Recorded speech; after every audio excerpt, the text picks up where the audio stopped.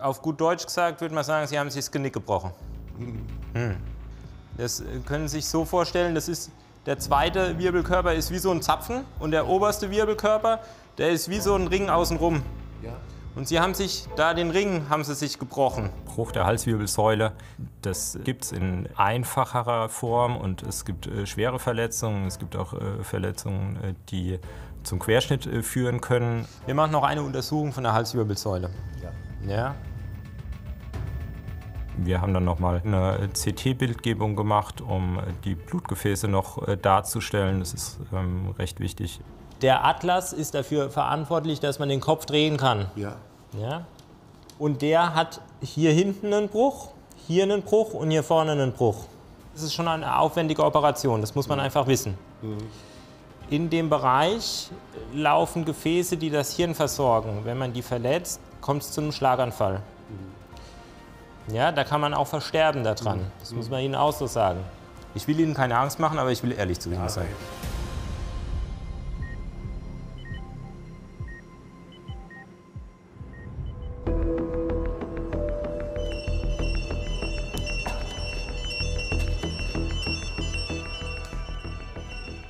An diesem Tag war unser Hubschrauberteam mit Dieter als Pilot und Philipp als Hems TC aufgestellt. Cabin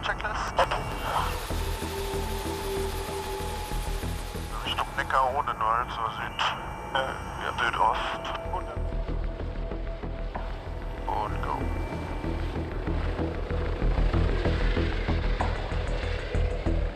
Wir wurden zu einem Einsatz in einem Industriegelände gerufen. Dort war angekündigt ein Patient mit einer Hand- oder Fingerverletzung. Diese Einsatzmeldungen sind bei uns relativ häufig für den Hubschrauber, insbesondere weil die Handchirurgie bei uns an der Klinik eine der größeren Abteilungen in Süddeutschland ist und wir oftmals mit schweren Hand- oder Fingerverletzungen bis zu Amputationen konfrontiert sind. So, 13 Minuten. Copy. So, Heidelberg. Da müssen wir noch. RTW, NDF sind vor Ort. Da können wir mal Ausschau halten, ob wir die erspähen. Hier auf dem Dach sind so ein paar Antennen, aber die sind alle nicht so hoch, ja. 32 und Landing.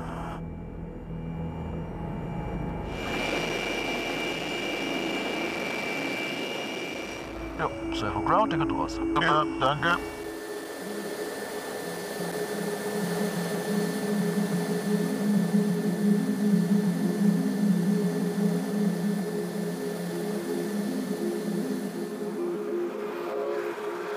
Herr Bauer, 94 geboren, Arbeitsunfall, ein Rohr mit einer scharfen Kante ist auf den Daumen von rechten Hand gefallen, hat einen Schnitt ca. 2 cm lang bis zum Knochen an Basis von den Daumen. Wie geht's Ihnen? Auf einer Skala von 0 bis 10, wenn 0 kein Schmerz ist und 10 ist das Schlimmste, was Sie sich vorstellen Dann sind können. wir vielleicht inzwischen bei einer 1 bis 2 oder Okay. so. 1 bis 2 kann man gut aushalten. Ich denke schon. Ja, Okay. Können Sie mir zeigen, wo das ungefähr ist? Ich habe nur gesehen, dass es halt ins Fleisch geht. Ging schon so, Ja. ich weiß nicht, ein Drittel, halben Zentimeter. Also ich schätze Ja. mal so knochentief Okay. und so, so gute Hälfte vom Umfang. Okay. Wo ist das Taubheitsgefühl aktuell? Die ganze Region, die Tiefe bis zum Nagen. Ja, auf glaube- der Innenseite und auf und hier auch auf der Außenseite vom Daumen. Ja, ja, ich spüre es nur Okay. immer so pelzig halt. Ich spüre es ja eigentlich nur indirekt. Versuchen Sie mal die Hand zu, zu, äh, zu schließen, wie eine Faust zu schließen. Das geht hier nicht. Okay. So kann Nö, nö, nö, nö, nö. Lass zu. Das ist schön. Pulse ist kräftig, jawohl. Die Durchblutung ist auch erhalten. Jeder der Finger und der Daumen hat zwei Gefäßversorgungen. Das heißt, selbst wenn Sie sich eine kaputt gemacht haben, sollte das noch gut durchblutet sein. Was man bei äh, frischen Verletzungen an der Hand oder an den Fingern niemals sicher wissen kann, ist, inwiefern Blutgefäße oder Nerven beteiligt oder beschädigt sind. Das sind zum Teil eben zeitkritische Verletzungen, die dann auch einer raschen operativen Versorgung bedürfen. Wir würden empfehlen, in die Unfallklinik nach Ludwigshafen zu fliegen. Da ist die nächste Handchirurgie. Ja. Und die Kollegen haben auch den Anspruch, es zu reparieren, Okay. wenn sie denselben Anspruch haben. Ich habe denselben Anspruch. Sind Sie schon mal Hubschrauber geflogen? Nö, aber mache ich gerne mit. Einmal ist immer das erste Mal, ne?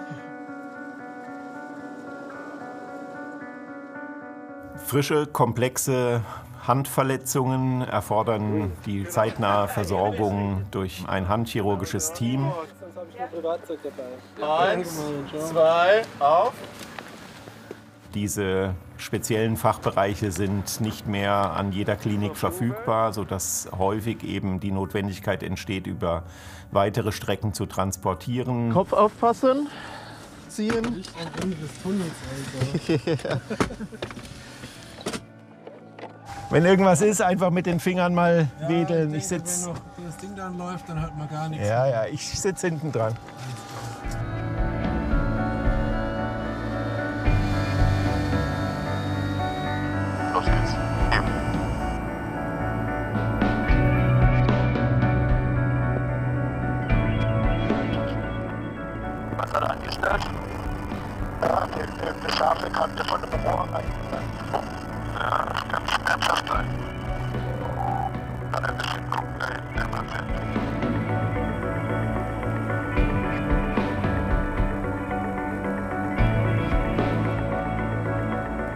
Wenn es Patienten so gut geht, dass sie bei uns im Hubschrauber liegen, selbst noch Fotos oder Videos aufnehmen, dann wissen wir als Notärztinnen und Notärzte auch, dass es den Patienten gut geht. Insofern ist das ja auch ein positives Zeichen.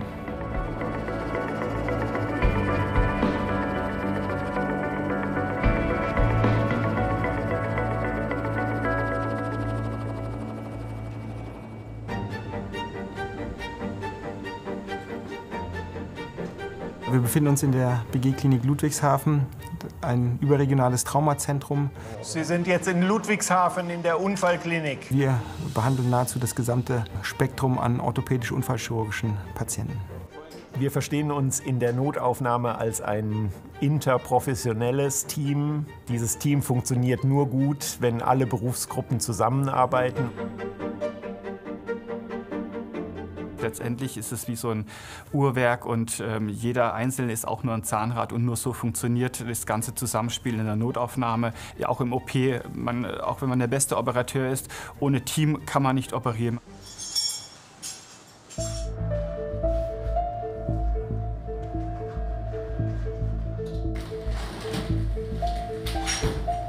Mein Name ist Sven Vetter. Ich bin Geschäftsführender Oberarzt an der Klinik für Unfallchirurgie und Orthopädie an der BG-Klinik in Ludwigshafen. Ähm, ich leite seit äh, mehreren Jahren das äh, Zentrum für Wirbelsäulenchirurgie. Das Problem ist tatsächlich, ihn auf in eine vernünftige Bauchnabel zu bringen. Weil einfach alle Weichteile so schwer drücken, ziehen, ähm, dass wir, wenn wir ihn in die richtige Lage bringen möchten, deswegen gar nicht richtig stabil bekommen. Ja, irgendwie so gut das Essen schmeckt, ähm, desto schwieriger wird es für den Chirurgen. Die Lagerung führt dazu, dass schon die Bruchstücke an der richtigen Stelle sind sozusagen. Und deshalb nehmen wir uns da auch ausreichend Zeit für, kontrollieren das auch im Röntgen logisch und erst dann beginnen wir mit der operativen Versorgung.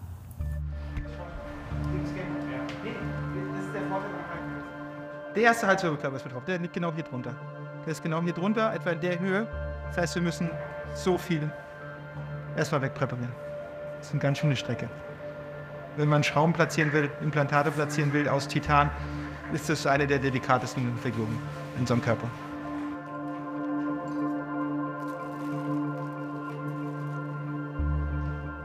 Die hochkomplexen Eingriffe, da ist die Anspannung schon direkt da. Das kann auch schon am Tag vorher mal sein.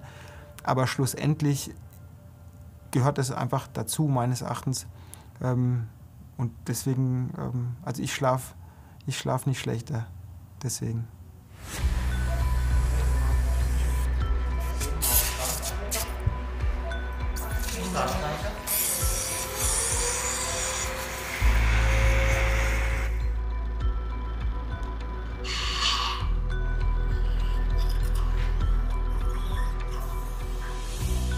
Wir haben jetzt eine Referenzbasis, ähm, Patienten befestigt, die uns nachher, wenn wir ähm, eine Navigation durchführen, äh, dass sie uns genau sagt, ähm, quasi Anatomie mit dem Bild quasi korreliert, sodass wir dann genau wissen, wo wir sind. Etwas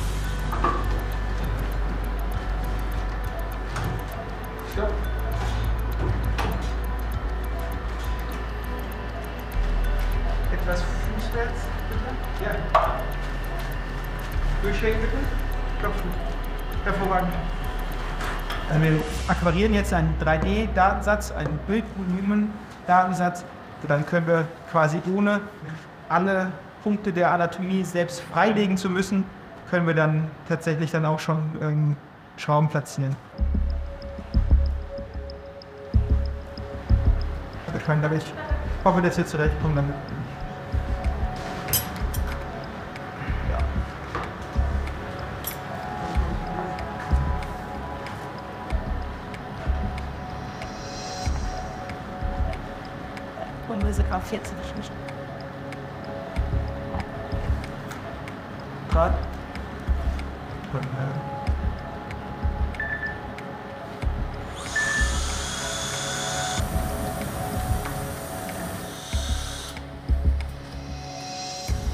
Quasi die Schraube an einer Position anbringen, die wir nicht wirklich gut einsehen können.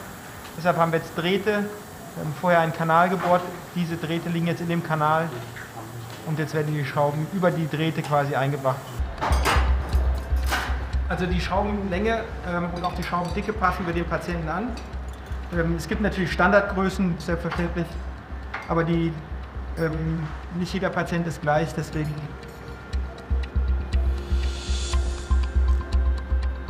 können Sie mit dem Oliver bisschen zurückkämpfen.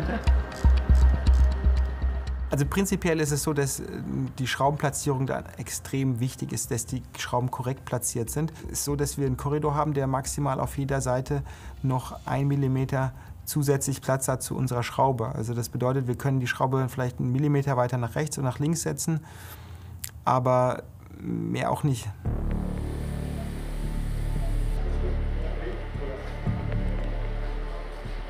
Durchbrechen wir diesen Korridor und äh, platzieren die Schraube ähm, an einer anderen Stelle, laufen wir eine sehr große Gefahr, tatsächlich eine Gefäßverletzung zu riskieren oder eine Schädigung des Rückenmarkes. Das eine, das kann zu einer starken Blutung führen oder auch zu einem Schlaganfall, also einer Minderdurchblutung vom Gehirn. Das andere kann zu einer Querschnittslähmung führen, die gegebenenfalls irreversibel ist. Also das sind, das sind dramatische Konsequenzen, die sowas haben kann, eine Schraubenfehllage.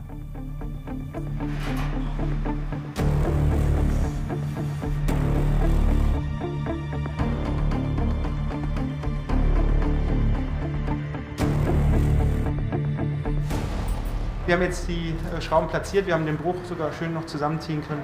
Wenn wir so eine Operation haben, freuen wir uns natürlich immer, wenn alles gut gegangen ist. Der Patient hatte nahezu keinen Blutverlust. Operationszeit in Ordnung. Ich glaube, der Patient profitiert sehr von dem Eingriff.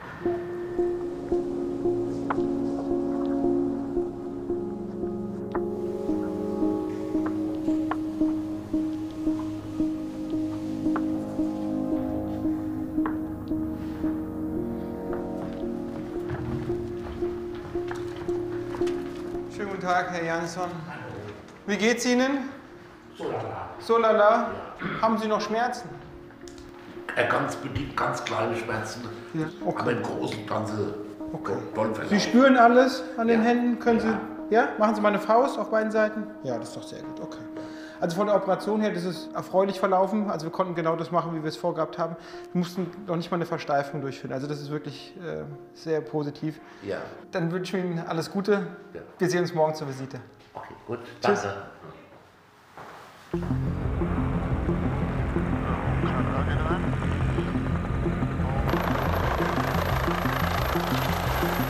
Safe on ground, ihr schon draußen. Jo, ich höre den Ohrringen. So, Philipp, das war's hier mit dem kurzen Rundflug. War doch aber recht elegant. Jetzt geht's raus. Kopf liegen lassen bitte. Ja, danke. Damit wir hier nirgendwo dran krachen. Jetzt gehen wir in die Notaufnahme rein. Dort wird das Team Sie empfangen. Was genau machen Sie mit weißem Hemd an scharfkantigen Rohren? Äh, gute Frage. Ich bin eigentlich eher der betreuende Ingenieur. Ja, okay. Und manchmal legt man selber Hand an und dann, wie gesagt, hat der Kollege hat ein Rohr losgeschraubt und ich sehe, wie das dem auf den Kopf fällt und will es fangen. Und ich hab's auch gefangen. Und den Kopf haben wir nicht getroffen. Den Kopf haben wir nicht getroffen. Da haben wir ja Glück. So, Herr Bauer, der betreuende Kollege heißt mit Vornamen so wie Sie. Also insofern sollten Sie gut zueinander finden. Das ist Schwester Stefanie. Achtung, den Arm dürfen Sie Ja. ablegen. Mein Name ist Stefanie Unkel. Ich arbeite in der BG-Klinik in der Notaufnahme als äh, Gesundheits- und Krankenpflegerin ähm, und studiere nebenbei noch Medizin im siebten Semester. Wir machen es jetzt ein bisschen sauber und gucken es uns einmal an. An der Notaufnahme ist für mich das äh, Spannende, dass jeder Patient anders ist, jeder andere Verletzungen hat, man Schwerverletzte hat, ähm, aber auch Bagatellverletzungen, kleine Schnittverletzungen und es ist einfach eine ganze Bandbreite, die man da abdecken muss. Es ist ohne Alkohol das Desinfektionsmittel, also es sollte nicht brennen. Ja, so ab dem Gelenk, ab dem zweiten Gelenk, das kann ich nicht aktiv knicken. Also ich traue es mich zumindest. Ich weiß, glaube nicht, dass es geht. Und ab da fängt es an zu kribbeln.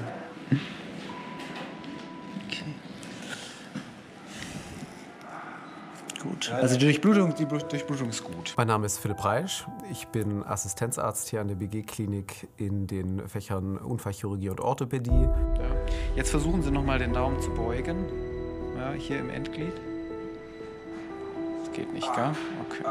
Okay, Das spricht schon dafür, dass da die Sehne durchgeschnitten ist. Kann schon sein. Der Daumen ist ja ein sehr, sehr wichtiger Finger, weil der für verschiedene Funktionen der Hand unerlässlich ist. Man denke nur an das Greifen. Das geht ohne Daumen nicht effektiv. Und deswegen ist der Verlust des Daumens als Einzelfinger eigentlich der ungünstigste Fingerverlust, den man sich vorstellen kann. Ich mache Ihnen das jetzt einmal so ein bisschen zu, Ja. Dass Sie sich auch nicht die ganze Zeit angucken müssen. Sind Sie Links- oder Rechtshänder? Rechtshänder. Er ist halt jetzt taub und bewegen kann ich ihn nicht. Und, oder nicht gut. Und jetzt äh, muss man schauen, was, was wirklich kaputt ist. Hab natürlich sofort gedacht, oh Mann, ich brauche meine Hand noch. und äh, ja, passiert.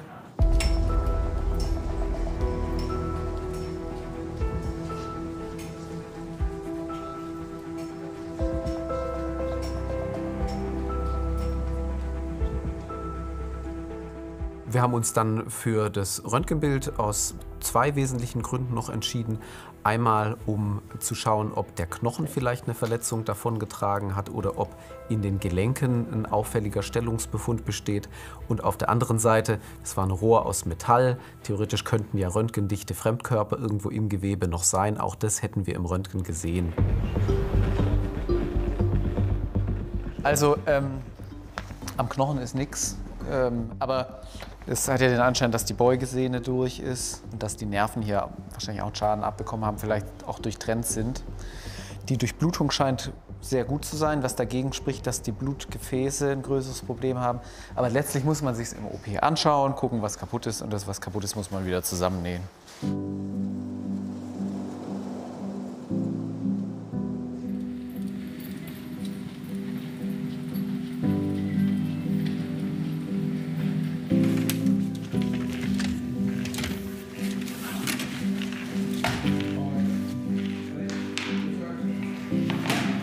Merci. Schneiden musstest du nicht, oder, als Gyros? Nee, glaube ich nicht. Danke. Bis dann. Die Sehnen konnten stabil genäht werden. Die Nerven wurden ebenfalls genäht. Die Nerven brauchen immer viel Zeit, um dann wieder auszusprossen. Und da muss man im Verlauf der Zeit sehen, wie gut sich die Sensibilität dort regeneriert. Da braucht man viel Geduld.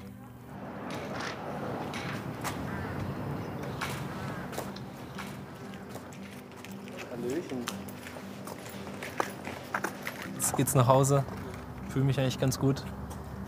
Habe mich ja jetzt schon ein bisschen an die Umstände gewöhnt. Und jetzt genau bin ich froh, dass ich meine Lieben wieder habe. Und dann fahren wir nach Hause. Und schauen wir mal. Gibt ja genug Programm jetzt zum Abarbeiten.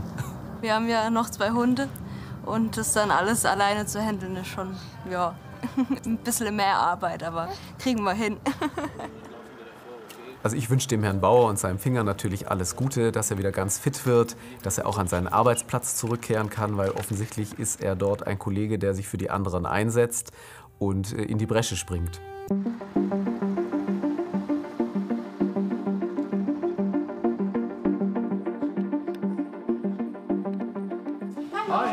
Wie kann ich euch Wir sind angemeldet Ja. ähm, über die Handchirurgie, Mhm. Arbeitsunfall. Was ist denn passiert? So ganz kurz. Er ist mit dem rechten Arm in die Maschine reingekommen, war gut eingeklemmt, so drei, vier Minuten. Hat sich dann selber befreien können mit einem Hebelbohr angesetzt hat. Ja. Und so hat er halt kein Taubheitsgefühl. Ja, richtig Gefühl mehr drin. Es war ein sehr schmerzhaftes Gefühl und ich dachte, dass ich sogar meine Hand verliere. Sodass Sie ein bisschen was bekommen haben an Medikamenten, machen wir nochmal so eine Überwachung dran. Das misst den Blutdruck und Sauerstoffsättigung und den Puls. Den Arm einmal ausstrecken, bitte. Dankeschön.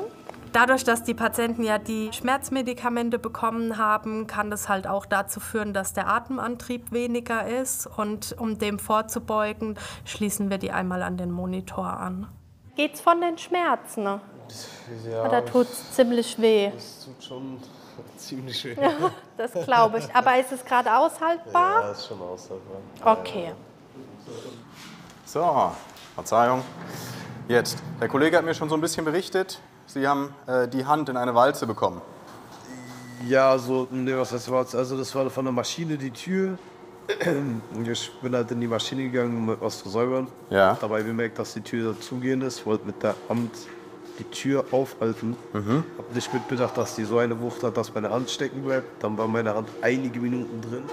In der schweren Tür quasi. Und die Tür war ich zu. konnte sie auch nicht zu, äh, zu, rausziehen, meine Hand. Ja. Mhm. Die Tür war zu und ich war in der Maschine drin.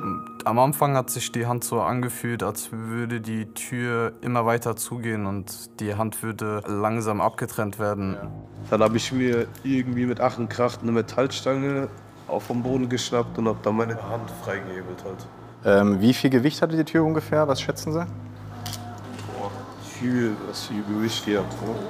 Das, das ist sehr schwer.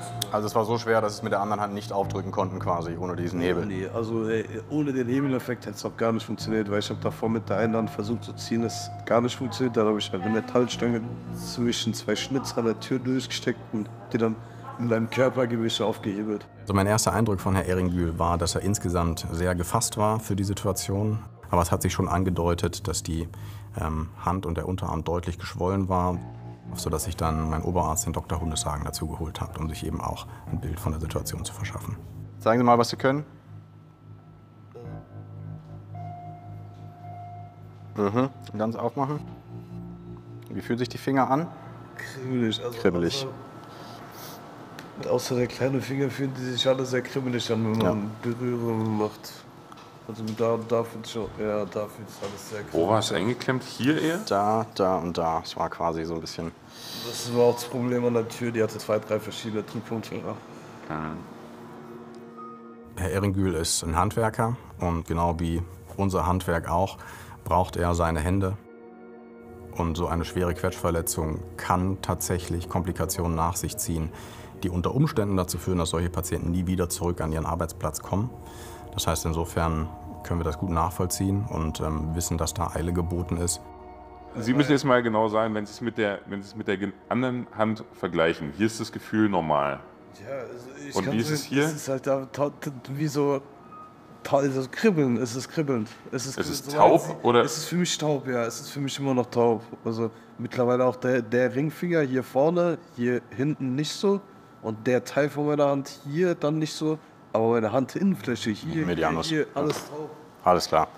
Gut, das ist schon relativ klassisch. Also der Nerv, der hier durchzieht, durch den Karpaltunnel, das ist der Mittelnerv, der versorgt genau diese drei Finger hier, wo die ja gerade sagen, dass die kribbeln. Ne? Und das ist schon ein Hinweis darauf, dass es dem da gerade ein bisschen zu eng wird. Kribbeln spricht meistens dafür, dass ein Nerv gequetscht wurde, ähm, kann aber auch dafür sprechen, dass ein Nerv vollständig durchtrennt wurde. Also wir machen jetzt erstmal ein Röntgenbild, alles nach der, der Reihe nach, gucken, ob noch irgendwelche Knochenbrüche vorhanden sind, okay? Und dann sprechen wir noch mal in Ruhe. Und dann würden wir das aber heute wahrscheinlich noch machen. Ja? Gut, alles klar. Dann äh, mache ich drüben den Auftrag rein und dann könnt ihr ihn eigentlich gleich ins Röntgen fahren. Ja? Herr Ringel, wir sehen uns dann danach nochmal, okay?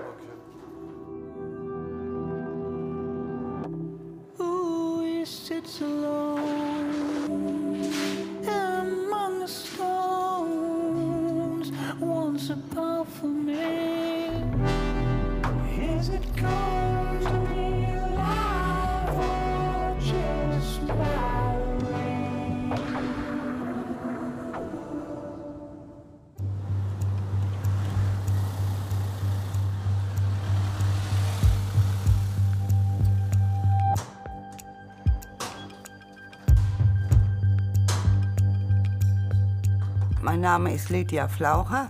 Ich bin die Oma von der Ilaria. Ich war zu Hause und dann ist der Anruf gekommen von meiner Tochter. Die konnten im Café nicht weg und Mutti fahr schnell in die Schule. Der Ilaria ist was passiert. Es war einfach furchtbar. Bin dann in die Schule und hab sie dann da liegen sehen auf dem Boden. Haben wir halt gedacht, hoffentlich ist nichts an der Wirbelsäule. So, Ilaria. Wir drehen dich jetzt auf die Seite. Du bleibst einfach ganz steif. Und dann drück ich mal auf den Rücken und du sagst mir, ob es da weh tut. Okay? Nimmst am besten so die Hände schon so ein bisschen über Kreuz. Wenn äh, Kinder auf den Rücken fallen, äh, muss man immer ernst nehmen. Die Wahrscheinlichkeit, dass sie jetzt Verletzungen haben bei niedriger Höhe, wenn sie vom Stuhl fallen, ist gering, aber nicht ausgeschlossen. Tut hier was weh? Hier. Okay, und tiefer? Hier auch? Hauptsächlich hier. Hier ist der Schmerz. Okay, gut. Jetzt kommt ein Brett unter dich. Du machst am besten wieder nichts. Sie ist eigentlich kein Schussel, aber sie ist sehr waghalsig, sage ich jetzt einmal. Ne? Die probiert gern vieles aus und dann passiert es. Zieh mal die Großzehen zur Nase hoch. Hier auch feste. Okay, gut. Mal so halten und ablegen. Feste runter, feste runterdrücken. Okay. Das Taubheitsgefühl am Fuß, ist es immer noch da oder ist vollständig weg? Okay. Und mit den Zehen, beweg mal die Zehen ganz normal. Okay. Bei Verletzung der Wirbelsäule wird bei uns im Haus die Wirbelsäulenchirurgie noch zusätzlich informiert. Genau. Wie ist denn der Schmerz? Hast du das Gefühl, das ist arg ist oder das ist schon deutlich besser geworden? Ein bisschen besser geworden. Schon ein bisschen besser. Es tut immer noch weh.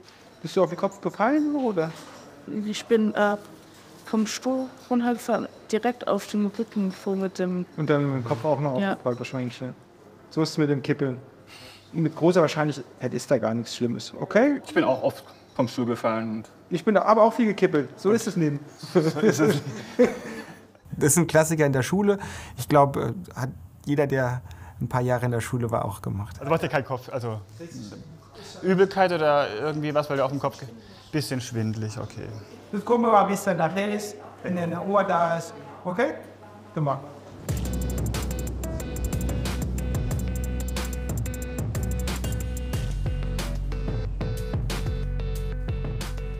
Es gibt noch eine Tetanusimpfung. Ähm, nee, wir gehen nicht an den Arm, der ist verletzt, wir nehmen der Ankram. Das Ding ist aber da drunter. Ne? Von, Das kriegen wir alles hin. Arm ganz locker lassen. okay. Ganz locker. Kinderspritze. Ich mag aber keinen Schwitze. Ich bin ganz zärtlich. ja, das glaube ich. Einfach weggucken, locker lassen. Je entspannter Sie sind, umso besser für Sie. Haben Sie was gemerkt? Sie haben noch gar nicht drin gewesen. Hm? Sie waren noch gar nicht drin? Ich bin schon fertig. Nee, Wirklich? krass. Hat gesagt, bin gut. Ich habe schon eine generelle Angst vor Spritzen, also von meiner Kindheit auf eine sehr große Angst vor Spritzen. Hatte sie eigentlich immer noch, ich würde sogar sagen, bis zu diesem Moment. Diese Spritze wirklich, die war gar nichts und ja, seitdem nicht mehr, keine Angst mehr vor Spritzen, ja.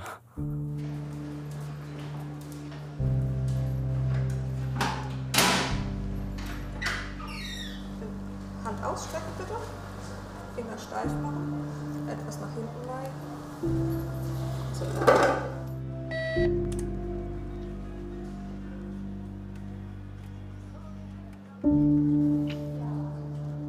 So. Wir haben uns die Röntgenbilder angeguckt. Sieht gut aus. Kein Knochen gebrochen. Genau. Ähm, das heißt, was wir aber trotzdem machen müssen, Ja. ist eine Operation. Ja, das haben Sie ja gesagt. Ja. Genau. Und bei dieser Operation, was wir da machen werden, ist ein Schnitt, der geht so. Okay. Ähm, und da werden wir hier den Nerv, der hier direkt drunter läuft, einmal freilegen, sodass der wieder ein bisschen Platz zum Atmen hat. Wenn wir das nicht machen, dann schwillen die Muskeln an, drücken auf die Nerven, die normalerweise die Finger versorgen, und da gehen die Nerven kaputt. Und indem man dem ein bisschen Platz zum Atmen gibt, kann man das vermeiden. Okay. Ich bin Vollnarkose weggetreten oder? Ähm, Sie kriegen einen Pieks hier in den Oberarm, bleiben wach dabei, wenn Sie möchten. Nee, ich würde gerne schlafen. Nee, ich Ja? schlafen. Okay. Auch wenn's, äh, also auch wenn Sie sagen, dass du das Taube spürst. Aber ich wäre da gerne. Dann sprechen Sie nochmal mit dem Narkosearzt, der wird auch nochmal mit Ihnen sprechen. Für die Vollnarkose habe ich mich entschieden, da ich nicht so konform damit bin, zu sehen, wie an mir etwas gemacht wird.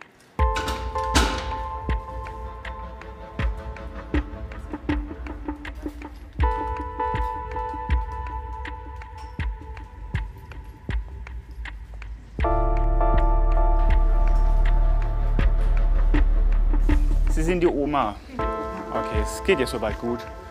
Ja, ist halt auf den Rücken gefallen jetzt. Hat jetzt, äh, so wie es aussieht, erstmal keine größeren Verletzungen.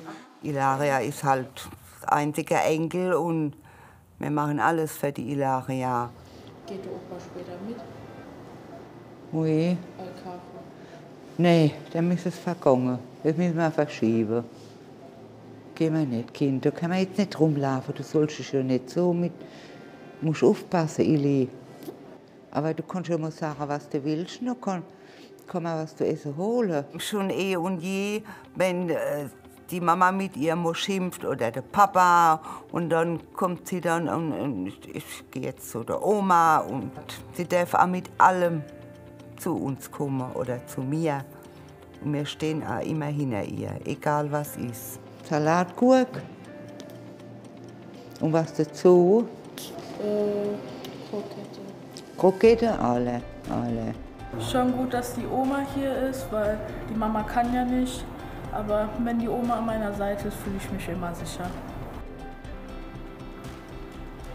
So, junge Dame. Und wie geht's?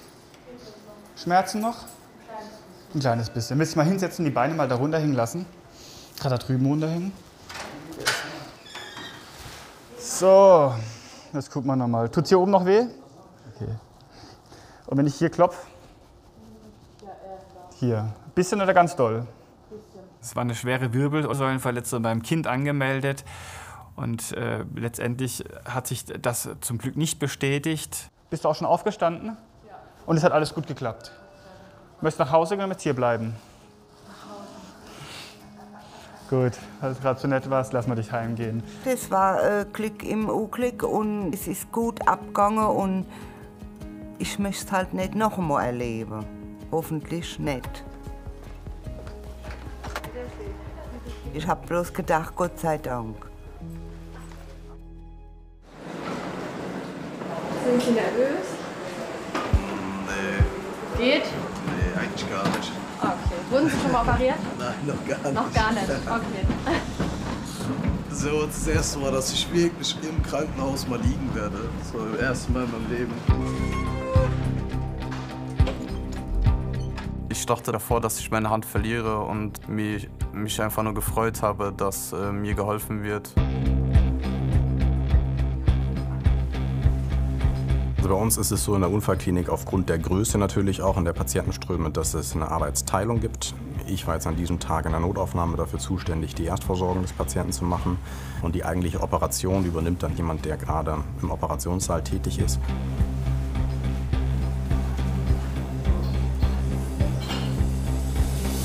Also was man bei dieser Operation machen muss, ähm, ist verschiedene Kompartimente spalten, sowohl auf der Beugeseite als auch auf der Streckseite. Ähm, was der Professor Rado gemacht hat, ist, dass er den Karpaltunnel hier gespalten hat. Dann ist er weiter hoch zum Unterarm gegangen, hat hier die Unterarmmuskelfaszie gespalten und ist dann noch streckseitig ähm, an die Hand und hat dort quasi die streckseitigen Handkompartimente gespalten.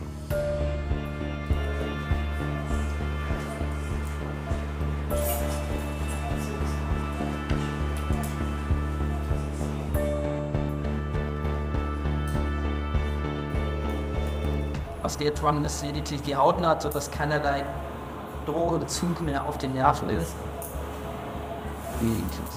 Und nachdem wir den Patienten jetzt beugeseitig operiert haben, müssen wir noch streckseitig Kompartimente öffnen. Da geht es nicht so sehr um die Nerven, sondern vielmehr um das drum, drumherum liegende Gewebe. Okay. Ist alles weich und in Ordnung. Dann können wir das Löffeln bitte was zum Sauer machen.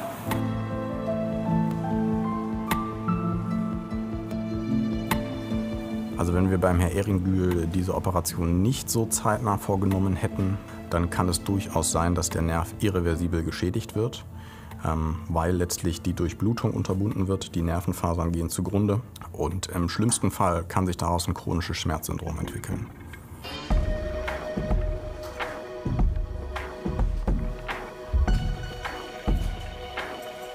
Der Patient kommt heute auf Station wird jetzt die nächsten 24 Stunden noch überwacht, dass die Durchblutung der Hand, aber auch das Gefühl der Hand ähm, weiterhin gut ist. Und ab morgen wird er physio- und ergotherapeutisch beübt.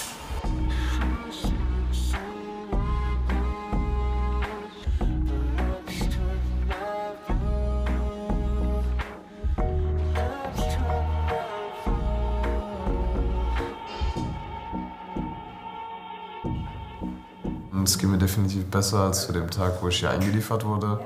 Ich äh, habe noch relativ Probleme mit der Hand, einiges zu bewegen, aber ansonsten ja, geht es mir sehr gut eigentlich. Ja. Und ich hoffe, es wird mir in den Tagen besser gehen. So, Herr Ringel.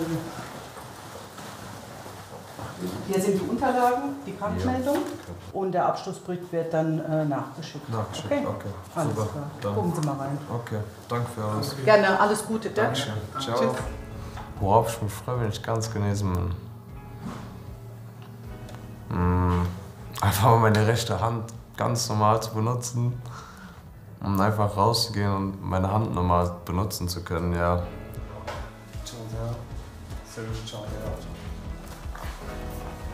Ciao. Ja, ciao. Ciao.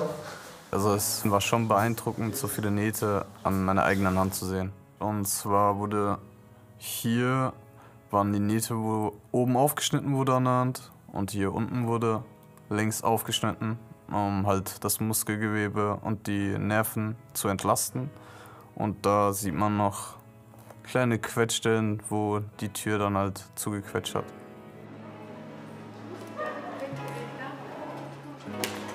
Was ich aus der Sache mitnehme, ist, dass ich schon nochmal vorsichtiger in, auf der Arbeit in gewissen Situationen sein werde.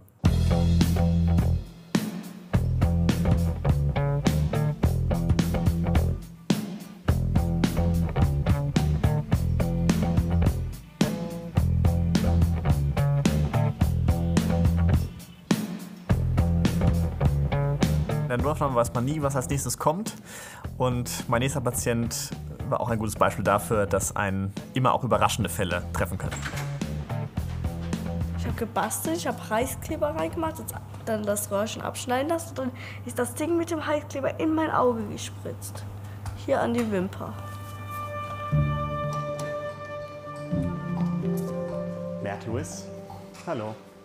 Ich bin Felix Klimitz, Assistenzarzt in der Klinik für handplastische und rekonstruktive Chirurgie mit Schwerbrandverletztenzentrum hier an der WG Unfallklinik. So, Clemens mein Name. Du darfst dich einmal hier hinsetzen, die Mama gerne in die Ecke.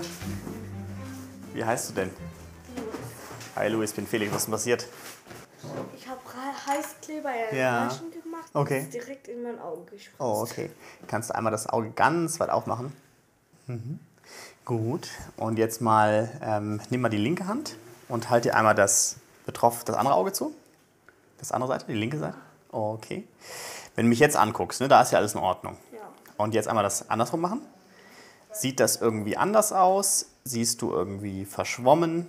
Nein, ich sehe nicht verschwommen, nur Ja, den Fremdkörper siehst du. Ja, okay, genau. Ich kann absolut nachempfinden, wie es dem kleinen Louis ging. Ich habe auch als Kind äh, mich teilweise im Gesicht verletzt, habe sozusagen einen, einen Dorn ähm, mal kurz oberhalb des Auges in die Haut gestochen bekommen und entsprechend kann ich ja gut nachfühlen, wie aufgeregt äh, das Kind selber und natürlich auch die Eltern in dem Moment sind. Dann gucke ich als erstes mal, ob ich dir dieses, dieses Stück Papier da entfernen kann. Ähm, ja, oder der getrocknete Kleber, was ja sozusagen am Lid hängt, dass wir das einmal rausholen. Und ähm, dann müsst ihr zu den Augenärzten einmal. Ja. Wir als plastische Chirurgen können Verbrennungen gut behandeln, ähm, aber natürlich sind wir keine Experten für Augen. Deswegen war es mir auch wichtig, dass im Anschluss eine Vorstellung bei den Kollegen der Augenheilkunde erfolgt. So, könntest du ein Stück zu der Kante rutschen, dann kann ich mich nämlich neben dich setzen. Und die Hand einmal am besten so auf den Bauch, dass die mir nicht im Weg ist, genau. Jetzt musst du einmal beide Augen ganz fest zupressen. So ist perfekt. Ich bin nur an den Wimpern. Und gleich Aua. Ist fertig? machen wir die Augen auf. Und natürlich macht es keinen Spaß, einem Kind die Wimper abzuschneiden. Ähm, in dem Fall war es leider unvermeidlich, ähm, weil sozusagen das halt mit dem, mit dem heißen Wehrwachs verklebt war und ihn ja auch gestört hat. So.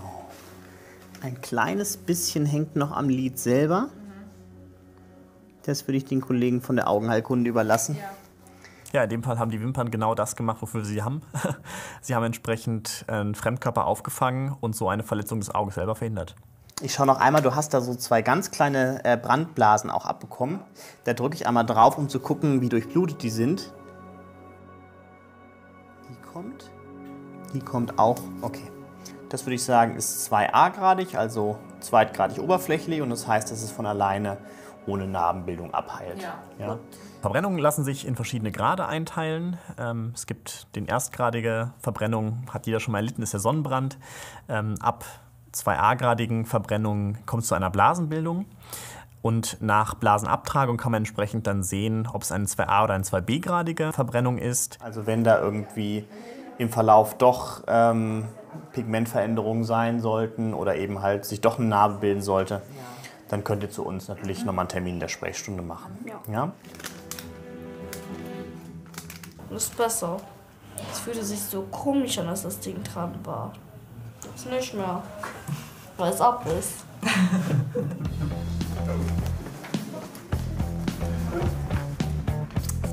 So, dann habe ich hier noch Ihren Brief. Nach meiner Einschätzung ähm, denke ich, hat er sich an der Hornhaut nichts verletzt. Ob die Kollegen noch ein Stück von diesem Heißkleber da am Oberlid abziehen wollen, das können Sie entscheiden. Ähm, und von den Verbrennungen her, Nach einer Zeit irgendwann wird es von auch alle- alleine abfallen. Genau. Die Wimpern weit genug gewachsen sind. Ganz genau. Die drücken das ja vor.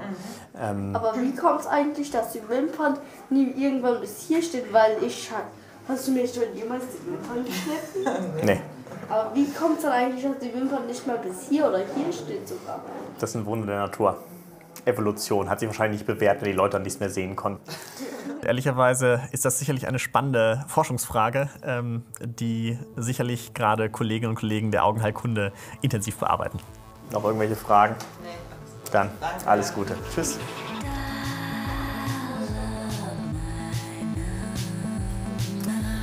Ja, Abschlussfazit, sehr tapferer Junge. Gott sei Dank ist nichts Schlimmes passiert. Das Auge selber war nicht verletzt. Die Wimpern haben ihre Aufgabe erfüllt und Louis geht's heute wieder gut.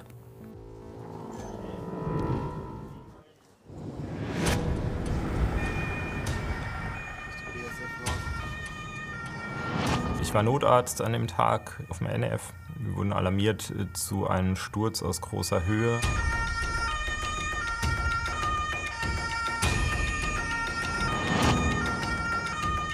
Wir wissen es noch nicht so genau. Also ist jemand vor Ort, ein Rettungswagen, die uns wiederum zur Schmerztherapie nachgefordert haben.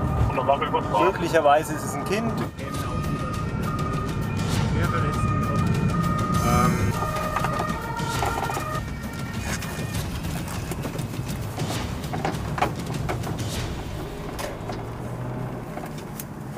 schauen mal.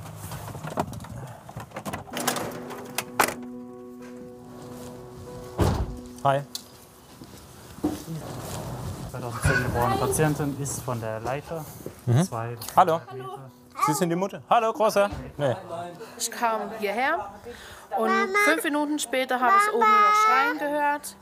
Dann bin ich hochgerannt und dann lag da auch meine Schwester schon und am Weinen, Schmerzen, die hat geschrien und also es war schon schlimm, meine Schwester so da liegen zu sehen. So angeschwollen dick. Sensibil, äh, Taubheitsgefühl. Ja. Jetzt müssen wir uns mal überlegen, wie wir die hier runterkriegen. oder? Vor Ort war alles relativ beengt. Schon auf dem Weg zur Stella hin habe ich mir Gedanken gemacht, wie wir die denn überhaupt aus der Situation rausbringen können oder retten können. Hallo. Mein Name ist Axel Tratzig, bin Notarzt. Auf den Käfig. okay. Bewusstlosigkeit, unklar, sie selbst kann sich nicht ganz daran erinnern. Okay, gut. Ich schaue einmal kurz nach dir. Ja? Tut dir hinten da an der Halswirbelsäule was weh?